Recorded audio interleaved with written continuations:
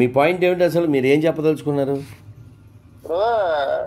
మన దేవుడు క- కల్పిత పాత్ర అదే అదే రిపీట్ రిపీట్ చేస్తున్నారు. అదేంటండి దేవుడు? ఇప్పుడు వాళ్ళకి వా అస్తిత్వం లేని మతం క్రైస్తవం. క్రైస్తవానికి అస్తిత్వం లేదు. లాజిక్ లేదు. దానికి రుజువు ఏమిటంటే చిన్న రుజువు. రూపం లేదు అంటారు కదా యేసుకి. దేవుడికి రూపం లేదంటారు కదా. అవును అవును అవును. మరి లియోనార్డో అంటూ పెద్ద విగ్రహం పెట్టింది ఏ మతస్థులు. అవునా? ఇప్పుడు గొర్రె యోహాన్ అనే గొర్రె రాజమండ్రి గొర్రె నేను స్టేటస్ పెడితే ఏది టిప్పు విగ్రహం ఎందుకు పెడతారు? పెడితే అబ్దుల్ కలాం పెట్టందని నేను పెడితే అతను ఆ టిప్పు ముస్లిం కాబట్టి మీరు వ్యతిరేకిస్తున్నాడు అన్నాడు. నీకు బుర్ర ఉందా గొర్రె? నీకు బుర్ర ఉందా గొర్రె? అబ్దుల్ కలాం ముస్లిం కదా ఆయన వ్యతిరేకించట్లేదుగా మేము? ఈ దేశానికి ఎవడ ఉపకారం చేస్తారో వాడిని పెట్టండి. అది కాకుండా విగ్రహారాధన వ్యతిరేకించే మతస్థులు కదా ఎడారి మతస్థులు. మరి విగ్రహారాధన వ్యతిరేకించి కొన్ని వేల దేవాలయాలు కూల్చేసిన వాళ్ళకి మళ్ళీ విగ్రహం ఏమిట్రా? ఫన్నీగా లేదు? నీకు దమ్ముందా? ఏ క్రైస్తవుడైనా సరే యేసు ఫోటో మీద ఉమ్మేయడానికి యేసు విగ్రహం మీద వచ్చేయడానికి. ఎందుకంటే మీరు విగ్రహారాధనకి వ్యతిరేకం కాబట్టి టెన్ కమాండ్మెంట్స్లో యహోవా గారు చెప్పింది మీరు నమ్మేవాళ్ళు అయితే యేసు ఫోటో మీద వచ్చేయండి. నేను ఫోటో స్పాన్సర్ చేస్తాను. మేము విగ్రహారాధికులం మేము చెప్పుకుంటాం హిందువులం. మీరు చెప్పండి యేసు ఫోటో మీద వచ్చేయండి మేము నమ్ముతాం. మీరు విగ్రహారాధనకి వ్యతిరేకమని ఫస్ట్ చెప్పే డైలాగ్ అదే కదా స్వామి. విగ్రహారాధన చేయకూడదు. విగ్రహాలన్నీ సైతాన సాతానని చెప్పారు. ఫస్ట్ మరి ఒక్క ఒక్క యేసు ఫోటో మీద వచ్చేయండి మేము చూస్తాం. ఒక్క ఫోటో మీద వచ్చే మేము చూస్తాం మేము. మీరు విగ్రహ విగ్రహంలో ఏం లేదని నమ్మేవాళ్ళు కదా మీరు? మరి పోయి. అట్లీస్ట్ అగిపెట్టేయి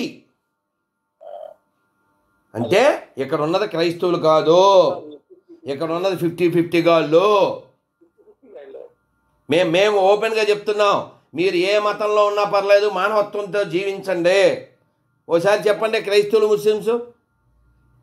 మేము చెప్తున్నాం మీరు రావుణ్ణి కృష్ణుని శివుణ్ణి అమ్మవారిని నమ్మక్కర్లేదు. మీరు చెప్పండి. మీరు చెప్పండి రెండు మతాలు తొంగపోతే అడగండి.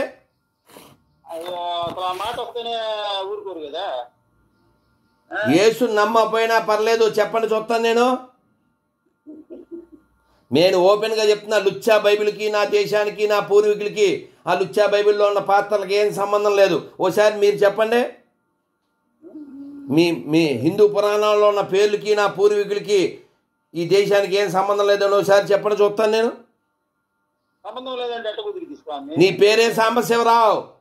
పేరు లేకుండా బతుకు చూస్తాను నేను. పెట్టు యో- యోహో అని పేరు పెట్టి బతుకు చూస్తాను నేను. నీ పేరే మహేష్ నీ పేరే నారాయణ. అవును. నీ బతుకు పేరు కూడా ఇవ్వలేని పెంట మాత్రం నీకు మా పరలోకం ఇచ్చేద్దా? పో పోయా ఆ, ఇప్పుడు మొన్న మా తెలిసిన ఆయన ఒక అతను ఒక ఆయన చనిపోయాడండి పాపం. కరోనాతో కాదు మామూలుగా చనిపోయాడు. అతను నజరయుడు అయిన ఏసైని నమ్ముకున్నాడు పాపం. మళ్ళీ ఒకటే? ఉం. సరే నమ్ముకున్నాడు. పరలోకానికి బాక్సులో పెట్టి పంపించారు అతన్ని. పరలోకానికి ఏం వెళ్ళడం అక్కడ వెయిటింగ్ రూమ్ ఉంటుంది. మా అక్క చెప్పింది లలితక్క. ఆ, అదే వెయిటింగ్ లిస్ట్లో పంపించారు. పంపిస్తే ఇప్పుడు అలా అలా విని ఐదు నెలలు ఇప్పుడు హిందూ ధర్మం ప్రకారం ఐదు నెలలు ఆడవాళ్ళు బయటికి రాకూడదు కదా.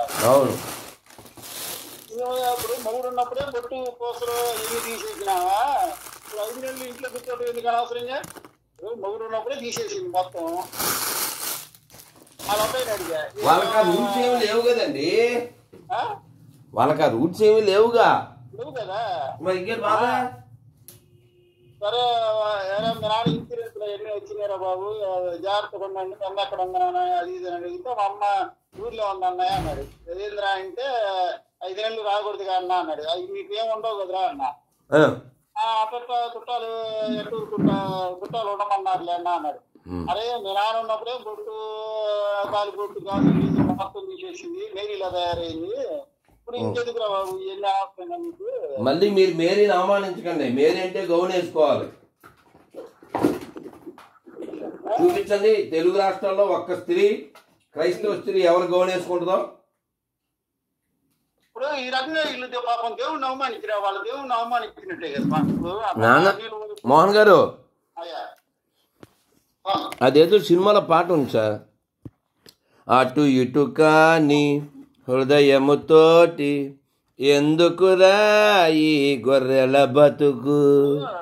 నాకు వీళ్ళు ఎప్పుడు ఒకటి చెప్తుంటారు స్వామి. మా మనసుకి ఏది నచ్చితే అది చేసేస్తాం మా మనసుకి ఇష్టమైంది చేస్తాం అని చెప్తారు. ఊరగా ఇప్పుడు ఎందుకురా బాబు మీరు అటు వెళ్ళిపోవచ్చు కదా అంటే మా మనసు మా ఇష్టం అంటుంటారు. ఇప్పుడు అట్ట కాదు స్వామి. మొగుడు అందంగా లేడని ఎదు ఎదురింటి మొగుడు తెల్లగా బాగుండాలి లేని నేను అతను ఇష్టపడుతున్నా అంటే చట్ట ప్రకారం చెల్లిద్దా తెల్లదిగా? సార్ సార్ వీళ్ళకి చట్టం అక్కర్లేదు వీళ్ళకి రాజ్యాంగం అక్కర్లేదు వీళ్ళకి నియమాలు అక్కర్లేదు వీళ్ళకి నైతికత అక్కర్లేదు. నైతికత లేనివాడే క్రైస్తవుడు కాగలడు. అంతే.